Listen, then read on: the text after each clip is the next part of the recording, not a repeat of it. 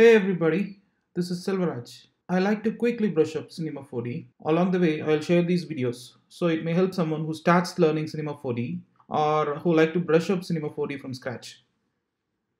This series of tutorial will help anyone to get hands on Cinema 4D and get used to tools. So we will cover mostly the essentials of Cinema 4D interface, modeling, material, MoGraph, lighting and rendering. We'll use Cinema 4D Studio version of release 20. But don't worry about the release versions, as most of the features in the different release will be the same. A side note, I'm using macOS for this tutorial, but this is not going to affect our learning curve. For reference, I have attached a document of layout and essential keyboard shortcuts in the description. Okay, let's jump into Cinema 4D. We will cover pretty much every aspects of user interface. We will start with the menu bar. Menu bar will be similar to any other software which has most of the options in the software. We don't want to deep dive into menu bar now as you will find very easy without going to menu bar at this stage. Right below your menu bar, you can see control bar, which is most important for everyday use of Cinema 4D. I'll just quickly create a cube to explain this control bar. Undo and redo button. This is self-explanatory, which helps to undo or redo any action which is done in Cinema 4D. Live Selection Tool. It's a regular selection tool in Cinema for selection. It is default to select anything in the workspace. Wherever you see the small triangle in any tool, it denotes there are more than one tool in the box. So you have to click and drag the box to access other tools in the set. The next tool is Move tool which is to move the objects. Scale is to scale the object.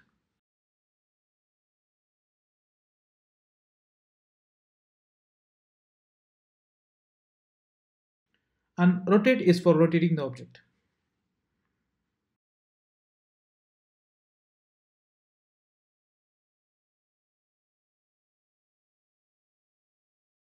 Next button is the history of tools that I have selected.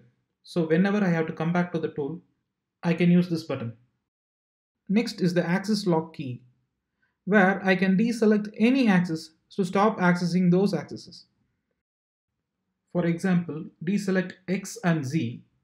Now click anywhere in the viewport and move the mouse, the object will be moved only in Y axis. Next is the coordinate system. When we are in a 3D software, you have two different coordinate system. If I rotate the cube, even the coordinate is rotated. Now I can move the object in its own coordinate and this coordinate is called local coordinate. But when I click on world coordinate, you can see now the object is moving in world axis. Now let us have a look at next three buttons. The first one is used to render your current view. The second button renders the image to your picture viewer. So all the rendered image will be there in your picture viewer so you can save or compare the rendered images. You can also use render region button so it will render only a certain region with less time. Next button is render settings. Here you can change different render settings, which we can see in detail later. With this button, you can create basic objects like cube, sphere or cone, which can be used in your 3D scene.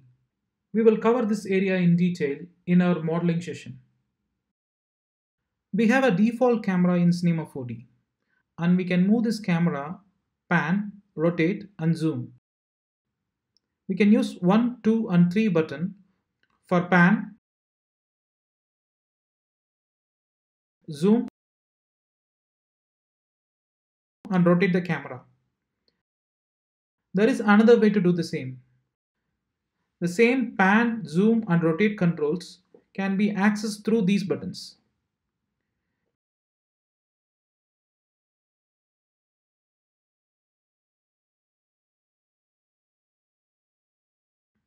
We can create our own camera which we have full control. We can create the camera by clicking on this button. This camera movement can be animated and the camera attributes such as focal length, depth of field, focus distance and so on can be controlled using the attribute manager.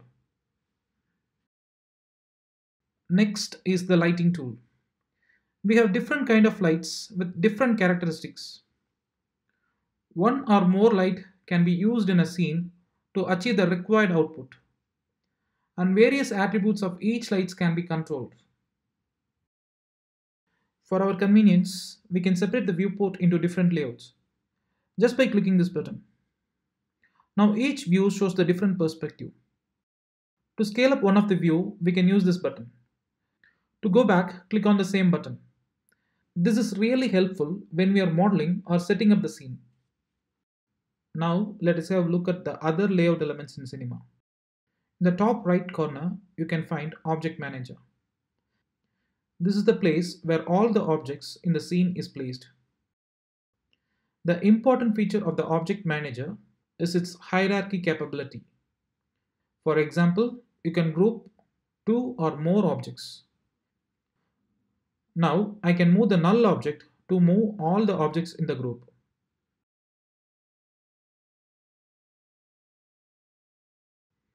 Else I can move only one object by selecting that particular object.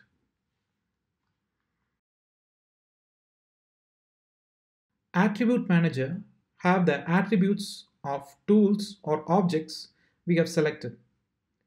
For example, I can change the coordinate of the object here.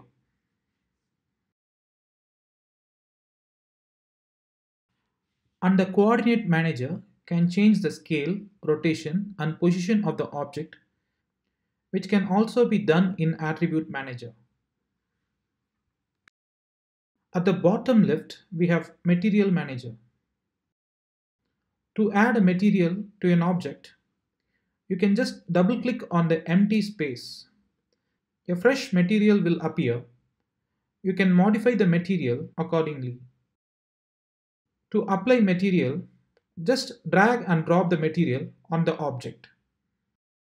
One important thing in any 3D software is how to have a control over an object's shape.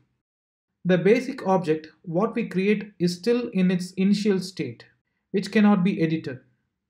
But we can change it by selecting the object and clicking on this button. So it is editable now. Now we can change the shape of the object using different work modes. This three buttons is for different work modes. Point mode which displays the vertices of the object so we can modify the vertex points.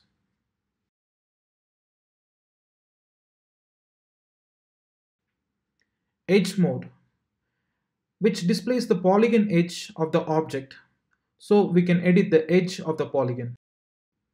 Surface mode which displays the surface of each polygon so we can directly click on the polygon and modify. If you want to move the entire object again, you have to change the mode to object mode. So now we can move the entire object. That's it for this lesson guys. We'll catch you in next part.